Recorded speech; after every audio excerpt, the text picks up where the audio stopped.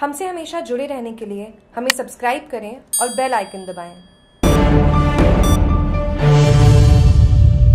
बाड़मेर शहर एवं बालोतरा में लगा सात दिन का आंशिक लॉकडाउन। कोरोना के बढ़ते संक्रमण देखते हुए लगाया लॉकडाउन। सात अगस्त से शुरू होगा लॉकडाउन, चौदह तारीख को हटाया जाएगा। बाड़मेर शहर के ग्यारह मोहल्लों में लगा सात दिन का लॉकडाउन।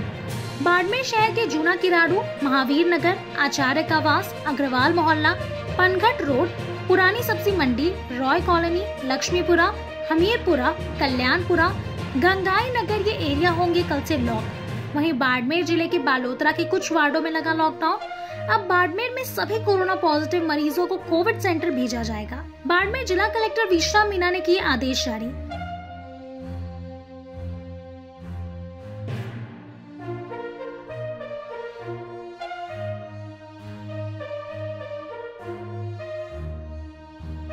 जागरूक टीवी के लिए बाड़मेर से खास रिपोर्ट।